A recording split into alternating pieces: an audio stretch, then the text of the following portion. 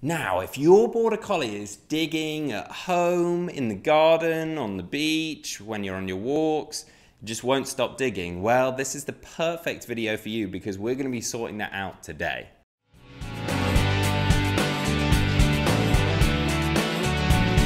Welcome back to the Fenrir Border Collie Show. My name's Joe I'm a certified canine leader here at FenrirCanineLeaders.com. We are dedicated to helping you learn everything you could possibly want to know about the Border Collie and then how to become a high level canine leader so you can raise your very own. So if you're new here, don't forget to subscribe and turn on that notification bell so you never miss a future upload. The Border Collie is a beautiful dog and it has a lot of energy and sometimes it might turn that energy into digging. So today we're going to be tuning into a webinar that the canine behaviorist and founder of FenrirCanineLeaders.com, Will, has recorded all about dogs that won't stop digging and then how to deal with that. So over to you, Will. Hey guys, welcome to another really quick fire webinar breakdown of a very common problem behavior that whether you're working as a canine professional with clients or you yourself are trying to become a high level leader for your companion dog at home, and that is around digging. And we're going to break down the implementation of the strategies and the behavior modification plans that I utilize to be able to correct digging behaviors and be able to have people have dogs that aren't destroying their gardens every single day. So let's dive into the webinar and we're going to get some really good information that I promise you you're going to be able to use at home with your dogs or your clients. Now, as is always the case with any problem behaviours that we may have with our dogs, we need to not only just to put a plaster on the problem, but we need to get to the root cause of the issue. And with digging, we need to look at what is it that's causing digging. Now, we have to have a little bit of empathy for dogs because digging is a very normal behaviour that dogs will display. Now, obviously, as a good leader, we need to be able to teach them when that is appropriate and when it isn't. And usually in your garden, that isn't appropriate. If we go out for a lovely walk in the woods and you want to dig a hole, cool. If we go to the beach, you want to do some digging, okay, cool. But if I tell you we're not doing that in the home or in the garden, then you need to listen to me because I am the leader, I am in charge, and I set the rules, boundaries, and expectations in this family environment. So that's what we need to be able to get to with our dogs. Now, when it comes to digging, a lot of the time that digging is a result of too much pent up frustration in terms of physical energy and mental stimulation. And they haven't got a productive outlet for both of those things. So the first thing we always start off with, with a vast majority of behavior problems, not just digging, but we can always achieve higher levels of success simply by putting in more exercise, more mental stimulation. Exercise is obvious. We can go out and play frisbee, we can go out and play fetch, we can go for a walk, we can do some running, we can teach a dog to run alongside a bike. The options are truly endless when it comes to exercising our dogs. Physically mental stimulation can require a little bit more creativity but there's tons of different puzzles out there. You can get frozen kongs any kind of uh, obedience work uh, agility getting your dog into doing just any kind of work with you is fantastic especially for working breeds. So we're going to add in more mental stimulation more physical exercise and you will be shocked at the amount of times that alone will address the problem of digging because the root cause, rather than sticking a plaster on it, the root cause was simply that they're bored and frustrated. So let's start there. If that doesn't work, you've done that and you're still seeing these problems, then we get to move on to the more behavior modification, the fancy stuff that people like to hear when it comes to kind of these intervention strategies. So then when it comes to digging, digging is a, is a funny one in the canine behaviour world. It's not something that can be addressed as easy as, say, reactivity or excessive barking because first of all, there's a few different things that come up with problems. Supervision, being able to ensure that we're watching the dog. To be able to correct the behaviour, we need to be able to use him. We need to be able to implement fantastic timing. So the strategies we use are going to be a little bit different when it comes to digging. But regardless of the strategy that we use for any behaviour problem, we absolutely first again must address the relationship that the dog has with its owner. Now, whether that's the dog with you as an owner and you're trying to become a higher level owner, or maybe you're watching this because you're thinking about taking first steps into maybe doing this for a living, you cannot come in and simply say, This is what you should do, see you later. Or watch me do it, I'm going to do it. Oh, awesome, that worked. See if do what I did, see you later. That worked because you were able to come in and establish a good relationship with the dog very quickly through your higher levels of leadership skills.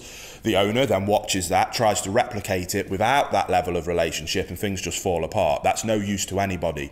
We have to be able to teach the owner how to become a high level canine leader, restructure that relationship so that the dog sees them as the leader and we'll look to them for guidance and direction. When we get to that point, then implementing the modification programs, correction based programs, uh, positive reinforcement based programs, that becomes so much easier. Because when you have that relationship, asking a dog what you do want from it is much easier, and asking your dog to stop doing something is then also much easier. So we must address that. At Fenrir, we use our bootcamp process. There'll be a link to the online version of that down in the description box below if you want to go and check that out. But that bootcamp process is very specifically, I designed it to not only be the one month process of being able to really put in those rules, boundaries, and expectations to restructure that relationship. But inherently, it then also teaches the owner how to be a high level canine leader. It teaches them the theory and the understanding required for them to be a high level canine leader. So not only do they come out of the other end with the desired outcome of that restructured relationship, but on top of that, they have learnt to become a high level leader that can then address any future problems, which then means they don't need me again as a canine behaviorist, which is the ultimate goal of any canine behaviorist. It isn't to put a plaster on things, it's to help the owners not need us again. If you can do that, then I promise you, you'll have a lot of success in this industry. So, what we need to do is be able to help them restructure that relationship. Again, we use our K9 Bootcamp to be able to do that. Once we've got through that process, like exercise, you will be surprised that simply going through that process will address so if exercise might address 60% of cases, restructuring the relationship might address another 30% of cases. So just simply going through, and by the way, we put a lot of exercise structure into the boot camp for that reason. Again, not only to restructure the relationship, not only to help our owners become high level canine leaders, but also to give them an opportunity to put a lot more exercise in. Because again, we know that through thousands of cases, that 90, 95% of these cases will be addressed simply by doing that. Which then leaves us this last little bit, which is where we then might need to get a little bit more creative in terms of an actual structured behavior modification program. Now, this is usually where I jump into correcting the behavior. But when it comes to digging, I want you to take more of a, a process of managing and correcting the behavior.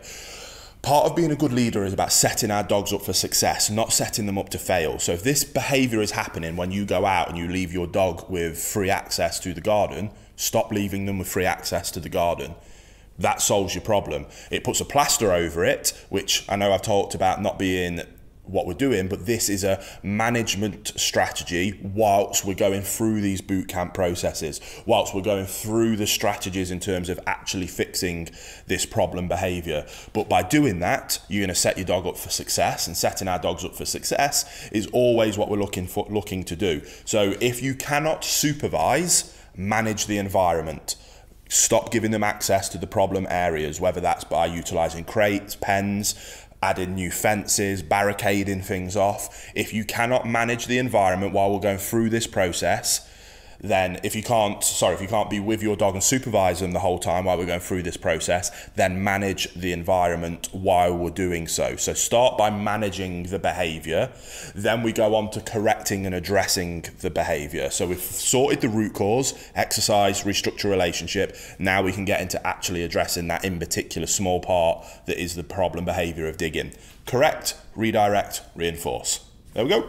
Done not I'm going to go into a bit more detail don't worry but that is as simple as it is. Too many people make these concepts of canine behavior remodification far more complicated than they need to be and the reason why people have other behaviorists or other um, in particular positive only approaches don't necessarily work is because first of all they don't address those first two pieces of the puzzle and then they simply try and put plasters on the problem and it doesn't really work but because you've put those efforts in this bit will work. So we simply need to correct, redirect, reinforce. So when the dog, again, when we can supervise, if we can't, we've managed the environment so that they can't do it in the first place. But okay, now we can be here.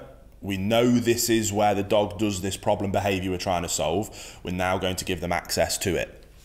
When the dog starts digging, we're going to go in with a, a verbal correction. Shoulders back, chest up, deep voice, vocal inflection is very important. There's going to be a very stern ah, ah or a no. And we're going to save that vocal inflection and that verbal correction. We're not going to use it much, but we're going to save it for situations like this where it can really carry some weight the more work you put into restructuring the relationship in the second part of the process, then the faster, quicker, more effective this verbal correction will be. So the dog is about to start digging and ah, no, snaps them out of it really quickly, so we get their attention back to us, then we redirect them to the behavior that we do want, which can be absolutely anything that you deem to be positive, whether that's to come and do some obedience work with you, whether that's to go into a sit and stay, whether that's you then throw a ball for them. We correct the negative behavior, we redirect them to a desirable one, and then when they're displaying those desirable behaviors, we reinforce. So again, correct, redirect, reinforce. It really isn't that rock, uh, rocket science when it comes to digging in particular. It's not an aggressive behaviour, um, it's just an annoying one. So, going through this process in a very positive based way, yes, we're utilising corrections, but we're going to stick with verbal corrections and we're going to make sure that we do everything we can do in our power to set our dogs up for success you go through that process and digging becomes a very easy problem to get on top of it really does the problem is people want you to come in and in a, in a 30 minute consultation with no effort on the owner's part be able to address the situation. And that simply won't work. It doesn't work. Uh, and anybody saying that something like that does work is wrong. Um, and they're, they're probably trying to sell you something that, that doesn't work. Yes, we, we suggest you going through our bootcamp process, but that's simply a structure that we've put in place to help you achieve the hard part of the restructuring the relationship as easily and efficiently as possible with high levels of success. Add more exercise in, add more mental stimulation in, become a high level canine leader and restructure your relationship with your dog, then be able to communicate with your dog what you don't want through correction, what you do want through redirection and reinforcement. The, the principle is simple, the implementation requires effort and discipline on your side if you're an owner or helping your client see that and for them to be willing to put the effort in. If they are, you will have a fantastic dog. If they're not, that you won't. Unfortunately, it really is as simple as that. And that's what we're trying to help people understand. First and foremost, before they get a dog, are you willing to do this? If not, you shouldn't get a dog. Unfortunately, for those people that do, we then need to find a way of being able to convince them to be able to change their lifestyle and mentality, to be able to put the effort in that is required to ensure that we're keeping these dogs out of shelters and not being put down. So go through that process, and I promise you'll have a lot of success with digging. Um, it's not rocket science, it's just a little bit of discipline and hard work. There we go, guys. Some really useful information that you can put to practice straight away with your Border Collie. I really hope you enjoyed today's video. If so, get involved in the comments down below as we would love to hear from you. Don't forget to subscribe and turn on that notification bell as we have two dedicated videos coming here every single week. So I can't wait to see you in the next episode of the Fenrir Border Collie Show.